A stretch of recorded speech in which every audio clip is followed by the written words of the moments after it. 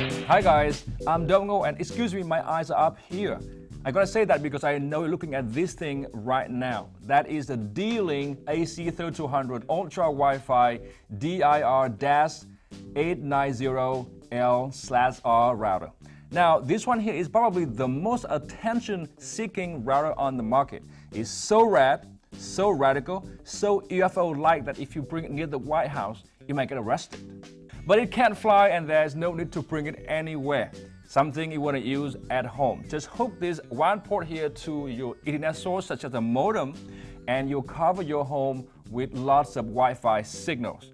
Now lots because this is a tri-band router, meaning it have one 2.4 gigahertz band that top at 600 megabit per second and two 5 GHz band each top at 1300 megabit per second for the total bandwidth of 3200 megabit per second at any given time.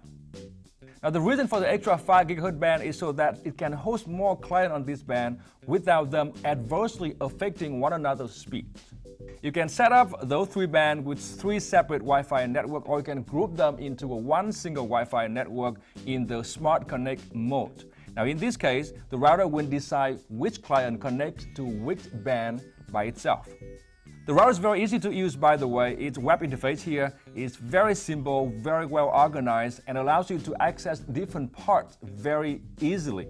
There's a network map here that shows connected clients and allows you to interact with them. You can even connect the router here with the My D-Link portal and manage your home network via your phone or tablet when you're away. But this level of ease of use also means that the router has quite limited settings and feature. For example, you can only reserve and unreserve an IP address for a client when that client is connected to the router. And the QoS engine here is very simple. You can only put one client as a top priority, and there's no way to prioritize based on application or other categories. Overall, this means savvy user like me will find this router quite lacking. Now performance-wise, the D-Link here excelled my testing at close range with a sustained speed of some 600 megabit per second, among the fastest I've ever seen. Unfortunately, it range wasn't the best I've ever seen, just somewhere between 120 feet 150 feet.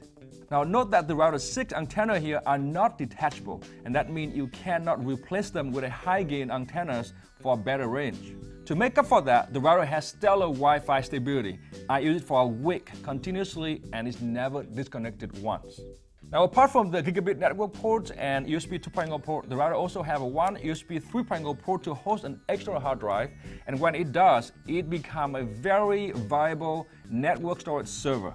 In my testing, it offered the sustained speed of more than 65 megabyte per second for reading and more than 35 megabyte per second for writing via a gigabit network connection.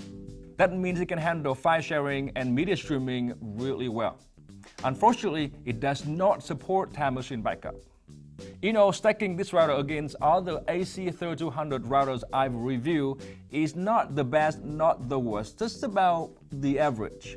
And that's partly because of its lack of feature and short range, but mostly because currently it is the most expensive at $310. Now for more, check out my full review at cnet.com. Basically, if you decide to get it, make sure you're prepared for the attention that you will get or not get because of it.